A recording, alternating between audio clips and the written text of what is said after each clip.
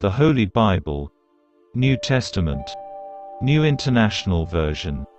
The Book of Acts chapter 12. Verse 1 to 30. Peter's miraculous escape from prison.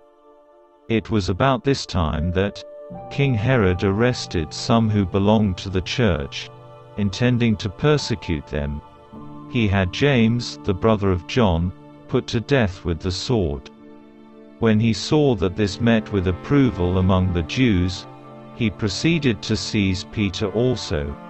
This happened during the festival of unleavened bread.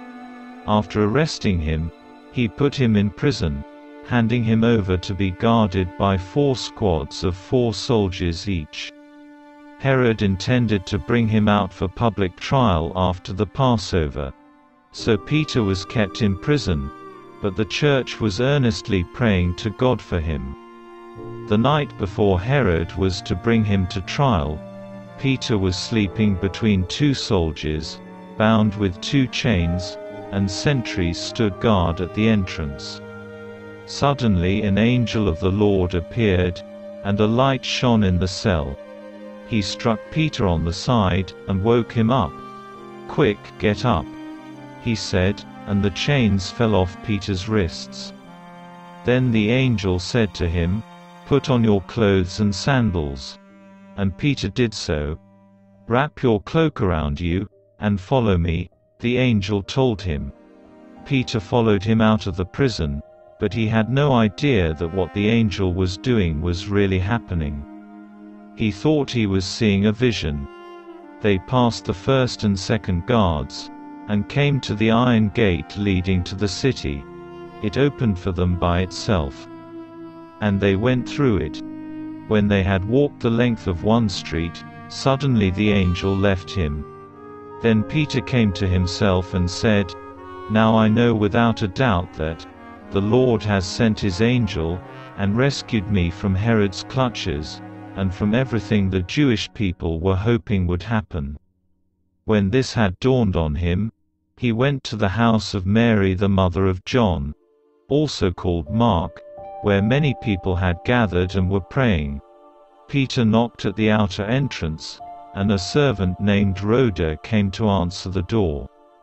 When she recognized Peter's voice, she was so overjoyed, she ran back without opening it and exclaimed, Peter is at the door.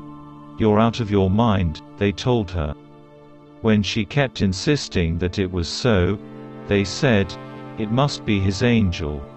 But Peter kept on knocking, and when they opened the door and saw him, they were astonished. Peter motioned with his hand for them to be quiet, and described how the Lord had brought him out of prison. Tell James and the other brothers and sisters about this, he said, and then he left for another place.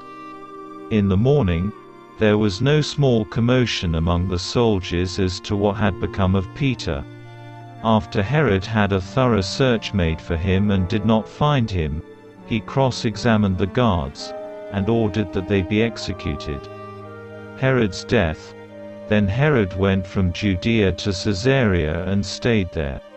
He had been quarreling with the people of Tyre and Sidon, they now joined together and sought an audience with him. After securing the support of Blastus, a trusted personal servant of the king, they asked for peace, because they depended on the king's country for their food supply. On the appointed day Herod, wearing his royal robes, sat on his throne, and delivered a public address to the people. They shouted, This is the voice of a God, not of a man. Immediately, because Herod did not give praise to God, an angel of the Lord struck him down, and he was eaten by worms and died. But the word of God continued to spread and flourish. Barnabas and Saul sent off. When Barnabas and Saul had finished their mission, they returned from Jerusalem, taking with them John, also called Mark.